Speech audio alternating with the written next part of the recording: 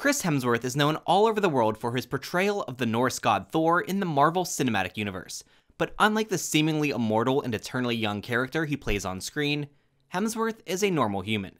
Given enough time, he will age and he will die, unless he can do something about it. That's exactly what he's trying to do.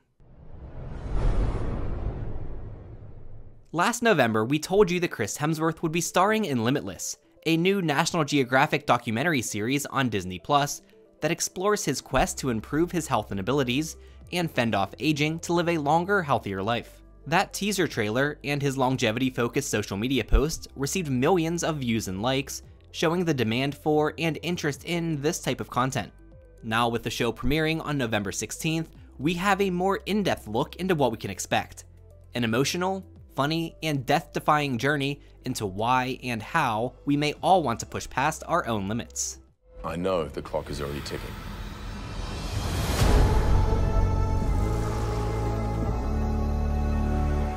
I'm teaming up with the world's leading longevity experts.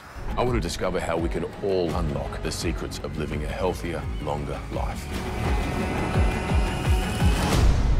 Oh, good luck with that. I think I've lost my mind. yeah.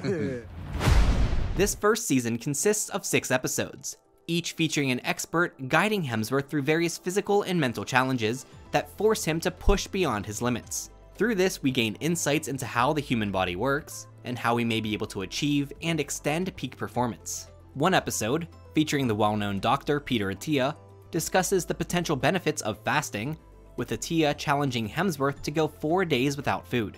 Other episodes focus on topics such as stress, shock, memory, strength, and acceptance. And if you're justifiably worried about the parting message of an episode on acceptance, consider that both Hemsworth and Limitless producer and well-known film director Darren Aronofsky have publicly expressed their personal interest in extending healthy human lifespans. In Aronofsky's 2006 film The Fountain, the character Theo, portrayed by Hugh Jackman, says, Death is a disease. It's like any other. And there's a cure. A cure and I will find it. Discussing this dialogue, Aronofsky said, I remember when that line was in the movie. I debated if it was just too crazy of a line to stick in the film, and whether people would think it was ridiculous. Now it seems like lots of people are taking it seriously.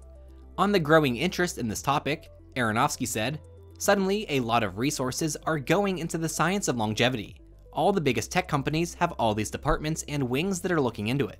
The trailer for Limitless also features Hemsworth exploring his personal reasons for wanting to extend both his health span and his lifespan. Why am I doing this? Why am I doing this? What's making you nervous? Oh, death is usually a, Death a is big a one. Yeah. What scares me is not being able to play with my grandkids, be active, all the things I love to do. There's certain battles we're just not gonna win. Guess I'd better keep at it. Let's go. It's a battle against what time can do to us. So here goes.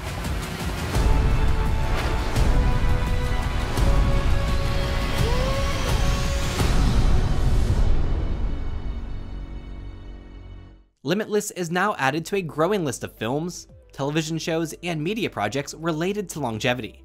This is something that is supported by Jellyfish DAO, which we discussed in our last video. This decentralized organization seeks to promote scientific advancements by supporting relevant media projects. Learn more about that initiative and how you can get involved in the video description. When Limitless drops, we'll be watching. Will you? Let us know in the comments and make sure to subscribe for more. I'm Ryan O'Shea, and we'll see you next time on Lifespan News.